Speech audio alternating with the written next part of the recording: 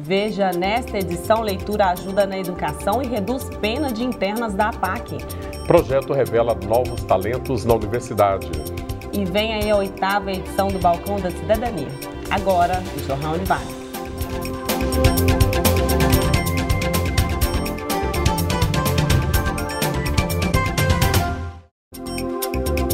Olá, já está disponível no site da Univale a versão atualizada do Manual do Aluno. O documento traz as principais informações sobre a vida acadêmica e os contatos dos principais setores da universidade. Acesse através do site univale.br. A leitura abre a mente e amplia os horizontes, mas um centro de reintegração social feminino vale muito mais do que isso. Pode significar a redução de pena e, no que depender da Univale, não faltam incentivos. Quase mil livros e 300 revistas da biblioteca da Univale acabam de ganhar um novo destino. Os exemplares que por muito tempo foram utilizados pelos alunos da universidade agora seguem para um novo espaço. O material servirá de auxílio na reintegração das internas da APAC. Nós lembramos que seria importante para as meninas aqui da APAC conhecer seus direitos. São sempre livros que vão ajudá-las. Então, não são só livros de direito, mas principalmente de direito, né, que as ajudam a repensar essas questões sociais. São livros também né, que discutem questões de justiça, de cidadania, questões sociais e projetos sociais que elas podem inclusive aplicar nas comunidades onde elas vão se inserir depois né, de se ressocializar. Aqui dentro, o método é baseado no amor, na confiança e principalmente na disciplina, visando o retorno ao convívio social. A leitura é um dos caminhos para essa conquista. No processo de reintegração, as 38 internas da unidade feminina devem cumprir uma série de tarefas e, nos intervalos, dedicam tempo para a leitura. Marilza e Andresa nem acabaram a leitura do livro, mas já estão de olho nos exemplares que acabaram de chegar. Para mim, foi uma foi ótima coisa que fizeram em estar doando esses livros para a gente, para a gente poder desenvolver mais a cada dia mais nas leituras e nos conhecimentos em geral. Não só para nós que estamos no semiaberto, como para as outras também pode fazer uso da biblioteca. Vocês também vão estudando? Nós vamos estudando, elas também vão. Muito bom, muito obrigado pela sua doação. Foi ótimo. A gerente administrativa da unidade comemora a conquista. O acervo da biblioteca foi praticamente dobrado, o que aumenta a chance de reduzir a pena através da leitura. Nós estamos assim muito satisfeitos, porque o que a gente conseguiu juntar em seis anos de APAC, a gente está ganhando num único dia. Então nós estamos dobrando o acervo da APAC. Então para nós realmente é fantástico. Não se educa sem a leitura, não se educa sem o conhecimento, não se educa sem a própria educação. E a leitura que nós estamos ofertando a essas educandas agora, ela irá conduzi-las a novos sonhos, a novos ideais, a novos objetivos e certamente através da qualidade da leitura que nós trouxemos para elas. Serão ideais melhores, são objetivos maiores, porque a leitura nos leva aos grandes sonhos de nossa vida, não nos deixa sozinho e nos ensina a criar projetos de vida. Esse é o nosso grande objetivo para auxiliarmos esse trabalho maravilhoso feito pela PAC. Em instantes, o projeto revela novos talentos artísticos dentro da universidade. E as informações sobre o Balcão da Cidadania é daqui a pouco.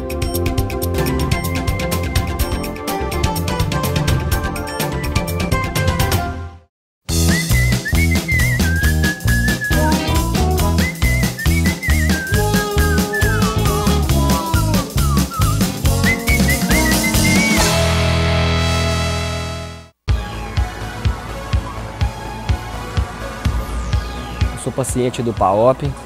A importância para mim é que eu estou há quatro anos no PAOP. Os profissionais são todos bons. Atendimento odontológico é caro. Se eu não tivesse esse atendimento, não tinha condições de pagar.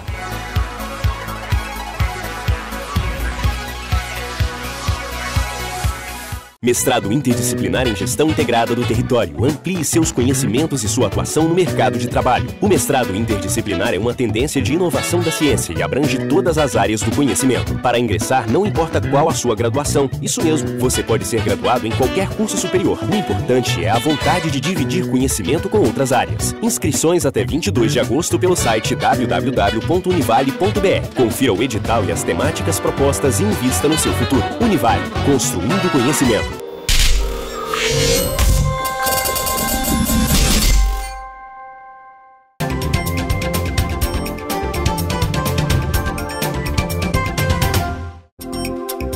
No dia 30 de agosto, a Univale realiza mais uma edição do Balcão da Cidadania. O mutirão oferece atendimentos gratuitos a toda a comunidade, entre eles o tradicional casamento comunitário, orientações jurídicas e na área da saúde. O evento acontece das 9 da manhã às 4 horas da tarde no campus 1 da Univale, que fica no bairro Vila Bretas. Um projeto tem revelado novos talentos artísticos dentro dos dois campos da Univale.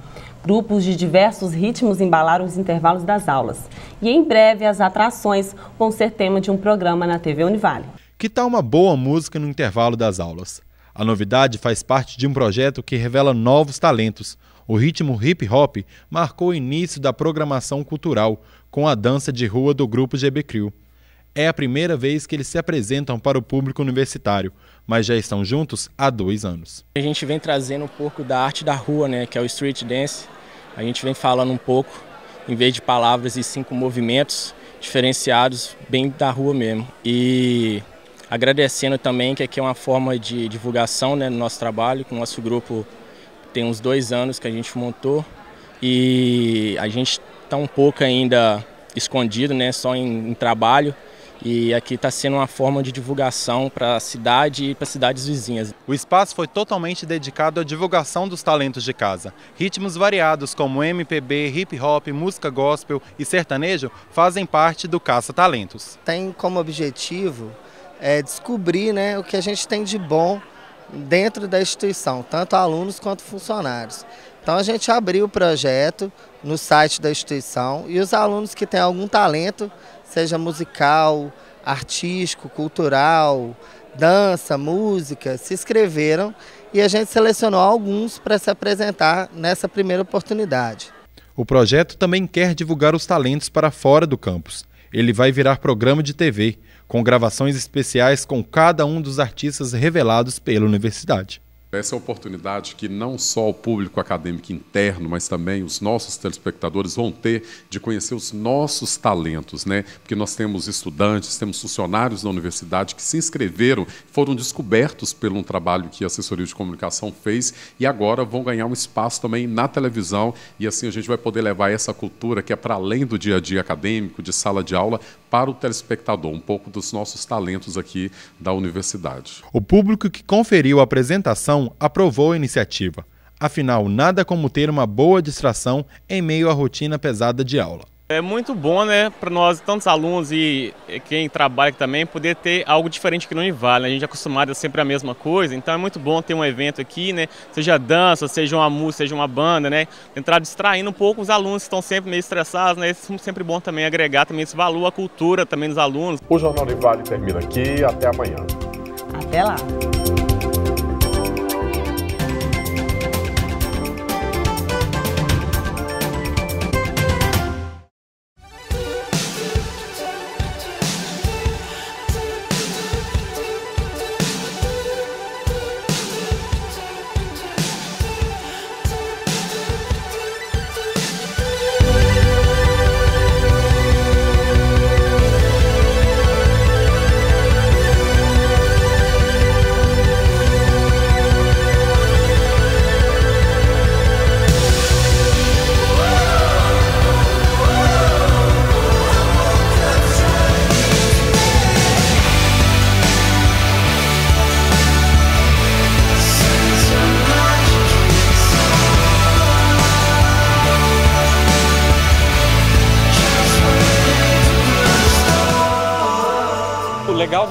Univale é a questão dela abranger mais a região de Valadares. A programação diferenciada, além de garantir informação de qualidade, agrada a todos os públicos. Beleza pura sem mistura. Sou artista. Se melhorar, estraga.